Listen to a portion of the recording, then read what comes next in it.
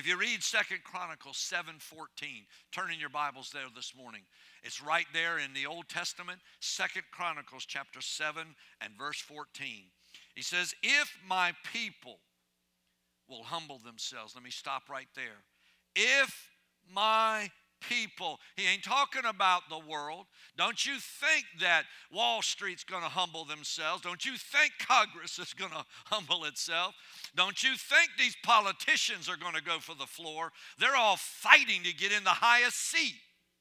I mean, think about it. We're in a world pandemic, crushing disease, and you got men jockeying who's going to be in the White House. They, they ought to just take a break till this thing's done because what's going on is foolishness when we're dealing with something so powerful that could take a nation, a world, take a, a country like Italy, and snuff it right out. We need to realize we are not dealing with the hand of man, we are dealing with the hand of God. And he says, If my people, the church, will humble themselves. First stage of moving God is right here. If you and I, if you and I will humble ourselves, it's the first stage. It's the first stage. Humble yourself.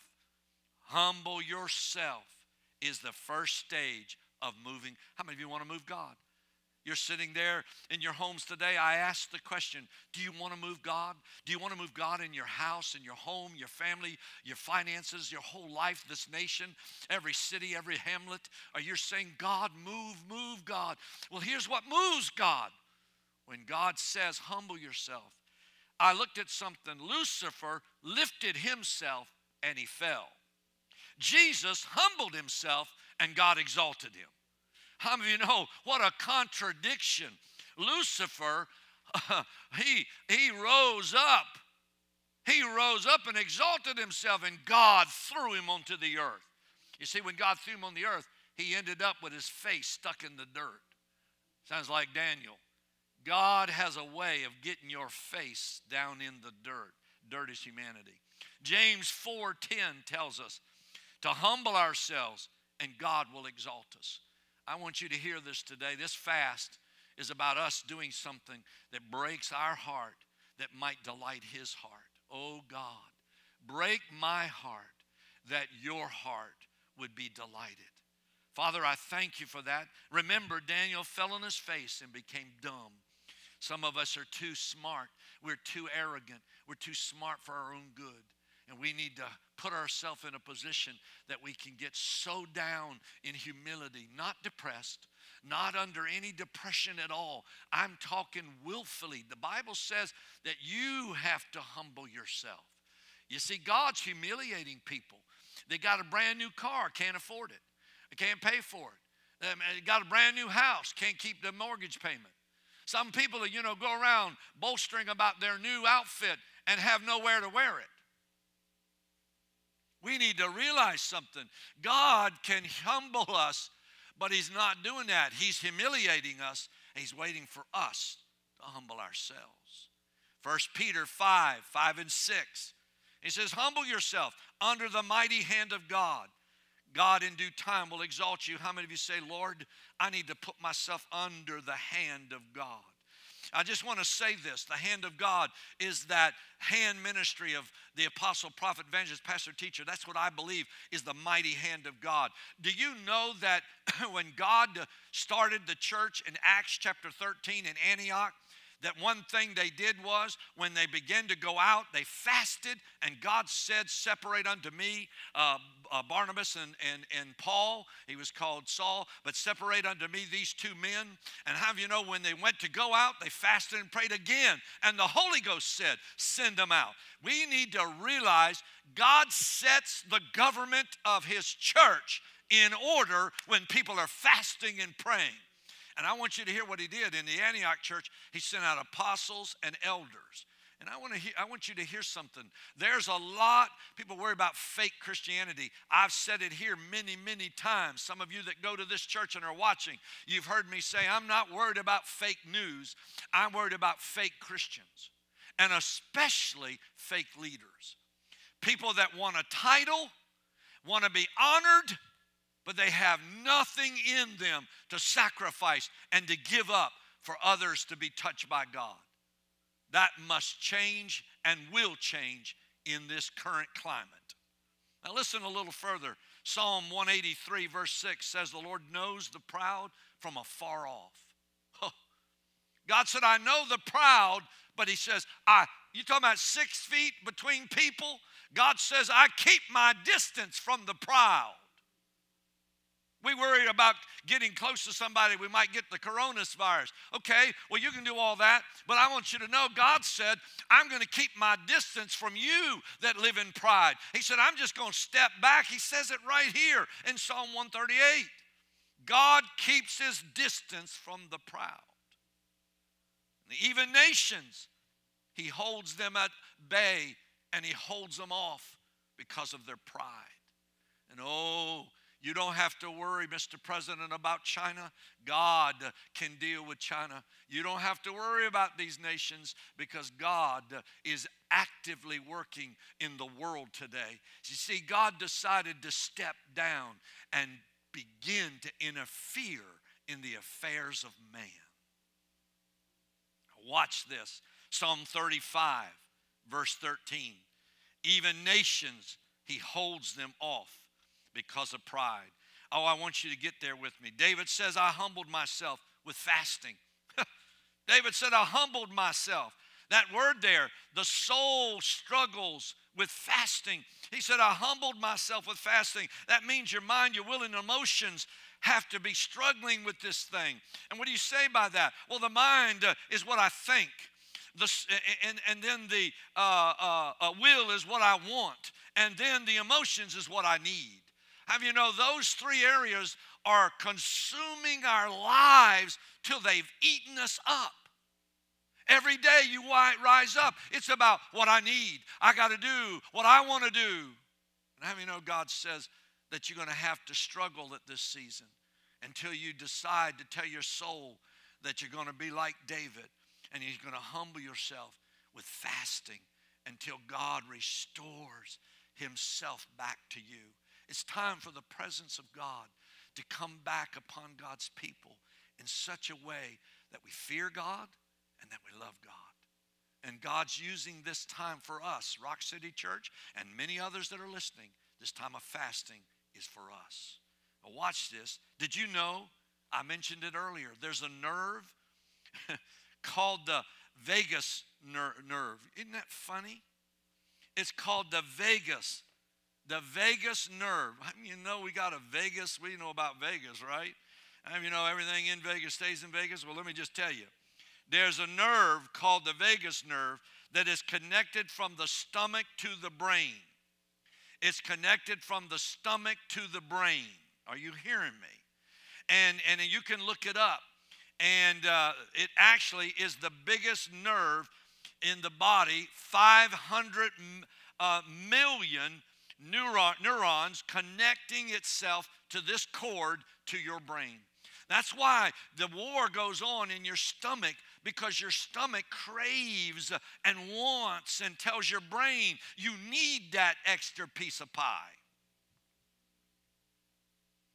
And that's why fasting is getting things reordered so that your brain is talking to your stomach, not your stomach talking to your brain. Say, Lord, let there be a holy reversal in my life. That my brain tells my stomach, be quiet, instead of my stomach telling my brain, I want something. Can you hear that? When Israel used to celebrate, and still does, celebrate Yom Kippur, the Day of Atonement for their sins, did you know it requires a response from God's people to afflict, it says, their souls. It means to humble themselves. This meant to the Jew that they would do without food. To this day, they practice that at Yom Kippur when they come to that September date and they begin to come and, and, and they, they are repenting for the sin of the year, what they do is they humble themselves. They do without food for a season, a period, so they can say that they have put themselves before God and letting God do something in them. Now, I want you to look at this and how this ends Ezra chapter 8. If, if I could spend just hours with you today, I would try to do that because this portion of Scripture is so profound. It is in the book of Ezra. Will you go there with me? I'm reading out of the New King James Version because it really says it the best. The New King James Version really, really lays it out well. In uh, Ezra chapter 8, and I want you to look at it with me. Now, let me set the story for you before I tell you which verse. Ezra was given the task to bring Israel from Babylon to, it, to back to Israel. And, and you'll read it in a minute. And what was happening was they, they gathered the people, they were leaving Babylon. How many know one day we're coming out of captivity? Can you say amen? And, and as they were coming out of captivity, uh, uh, they were instructed by God through Ezra that they were to go on this journey and that it was going to be a treacherous journey. There were thieves and there were uh, robbers and there were all kinds of, of wicked people and armies along the way. That they were going to face these people and they had to learn how to navigate and how to order this path so they could avoid those things. Now, watch this. If you read in verse 21, then I proclaimed a fast. he gets instruction. God tells him what he's going to do. He goes to the temple. You can read it. He goes there. He brings all the heads of the families together who returned with Ezra. They all came together. And then he says, I proclaimed a fast there at the river of Ahava that we might, what?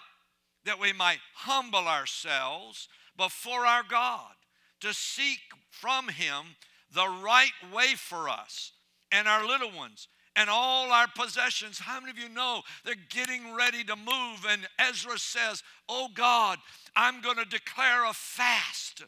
And as I fast, uh, I'm going to humble myself. And the people of Israel did that before God because they were seeking the right way, the strategy, the plan. Oh God, uh, let the president, let the doctors, let the scientists uh, begin to hear God and begin to turn towards you, God, uh, and let those that have become the counsel to these people begin to counsel them in holy counsel so that fasting and prayer can bring guidance. Uh, and God, you will guide them uh, in the right way. God, guide the nations. By the humility of men that will fast and pray to Almighty God. Verse 22 For I was ashamed, oh, I love this. I was ashamed to request of the king an escort of soldiers and horsemen to help us against the enemy on the road because we had spoken to the king, saying this The hand of our God is upon all those for good who seek him. But his power and his wrath, the other hand, are against those who forsake him. Don't you hear this? Ezra said, You know, it's almost like David when he was about ready to fight Goliath. And Saul said, Why don't you put on this armor? Ezra says, You know what? I'm not going to trust, uh, some will trust in chariots, some will trust in horses. But he said, I'm going to remember the Lord. I'm going to trust in my God. I'm not going to trust in the soldiers. I'm not going to trust uh, in all uh, the escorts uh, of horsemen and strong uh, strength. He said, I'm going to trust in God.